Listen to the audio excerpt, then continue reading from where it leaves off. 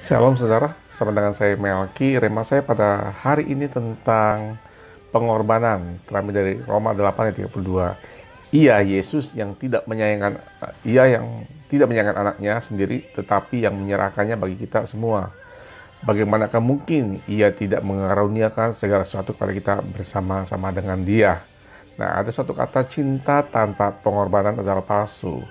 Ketika seseorang menyatakan cinta tetapi tidak mau berkorban entah waktu, uang, perasaan, bahkan tenaga, maka perasaan, maka pertanyaannya apakah cinta yang benar-benar sungguh-sungguh atau cuma di mulut saja. Nah, pengorbanan merupakan sebagai salah satu bukti wujud kita mau mengasihi, mau memberi lebih lagi. Ada pepatah mengatakan bahwa kita dapat memberi tanpa kasih, tapi kita dapat mengasihi tanpa memberi atau berkorban. Nah, terlebih lagi tentang ada satu pribadi yang begitu mengasihi kita, yang ia bahkan rela berkorban, menyerahkan nyawanya, mati di atas salib untuk menembus dosa kita semua.